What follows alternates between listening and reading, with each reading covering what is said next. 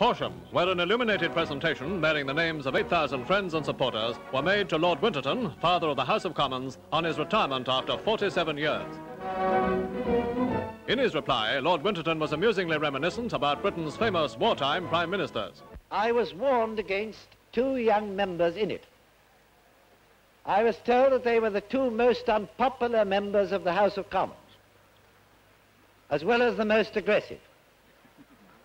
They were called Lloyd George and Winston Churchill, respectively.